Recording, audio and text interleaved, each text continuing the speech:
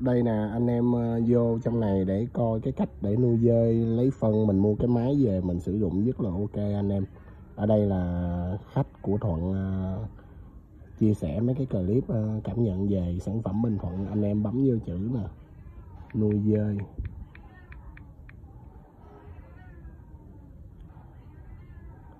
anh em kéo dưới này nhiều clip lắm, tại youtube bây giờ. Nè, đây nè anh em. Đó đây là clip này là khách gửi về cho thuận nha. Đó, khách ờ, chia sẻ lại quyền những gì mà được hiệu quả từ clip của thuận từ cái máy của thuận. Đó, đây là lúc là dơ ra nè anh em.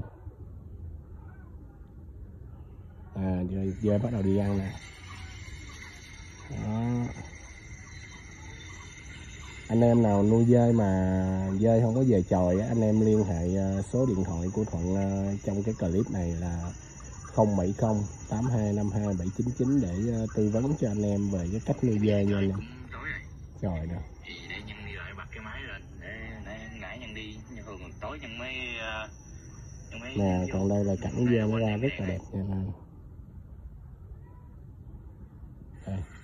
dơ nó ra anh em làm chòi để tự nhiên dê nó không về đâu anh em. Cũng về nhưng mà lâu anh em có máy ờ, sử dụng là nó sẽ hiệu quả nha.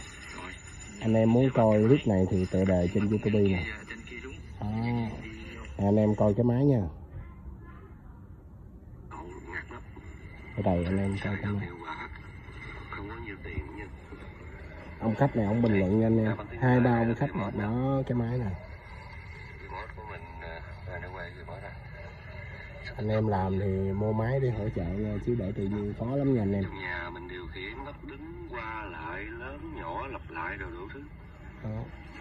để ngồi mình ờ, sáng sáng chứ mình mình leo mình lấy cái lò xuống cho mọi người coi nha. À, cho anh em coi cái lo đó. Cái lo nó về nha anh em. Thì trước mắt là cứ như vậy đi anh em cần thì liên hệ để ờ, thuận tư vấn cho anh em nha. Rồi cảm ơn anh em rất nhiều. Chào anh em đó. xài nè mình mình ở trong nhà mình điều khiển. Cái đâu nhất thiết cái đâu Thôi vậy nha anh em.